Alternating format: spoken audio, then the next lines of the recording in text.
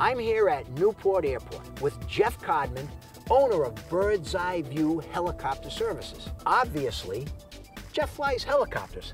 Jeff, how did you get into this? I got into this, um, I started flying with my father at the age of 13. Mm-hmm. Um, the airplanes, he just flew for fun. And then uh, it just became a hobby and it uh, progressed to helicopters. And this is such a neat little airport. Now, this is not a commercial airport. This is not, this was an airport that I believe was built in the 40s. Uh, the Navy um, used it for some training. A lot of people don't know about it. People can come here and they can skydive, they could charter a plane, or hire your helicopter services. Correct. We do, uh, aerial photography is one of our main businesses. We've done work for the Discovery Channel, History Channel. We did a pilot series called Lobster Wars, we did that. Um, we do a lot of events like the Volvo Ocean Race, America's Cup. The Queen Mary was in town. That was a great opportunity to get some nice photos. And do people take pictures of real estate for purposes We of do. selling we do. it? We, or- we actually provide that service in-house too. I have my own uh, equipment and photographers, but we also will fly other amateur and professional photographers. Okay, anything. so if people want pictures taken, you can take them, or they can bring their That's own right. photographer. Either way, either way, we can we can do it.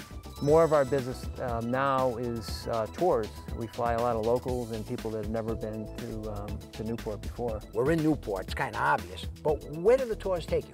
Most of the tours, um, well, all the tours include the mansions. Everyone that comes to Newport wants to see the mansions, but you're also going to see uh, lighthouses, um, the Newport Bridge. We uh, usually fly over that, give you a nice perspective of the Newport Bridge. Can you fly under the bridge? No, you can't fly under, but we'll go right over the top. Nice, Wow, nice the coastline must make a magnificent Oh, it's great. There's uh, a lot of nice uh, beaches, rocky shoreline. It's a, it's a nice combination. And can you see Block Island from You here? can, on a clear day, you can see Block Island and Martha's Vineyard. Now, most of the people that you take up for tourism, have they flown before?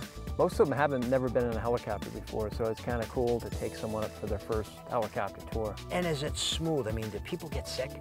Very smooth. A lot of people remark almost on a daily basis. I hear it all the time, you know, how smooth this helicopter flies. Uh, I bought it brand new.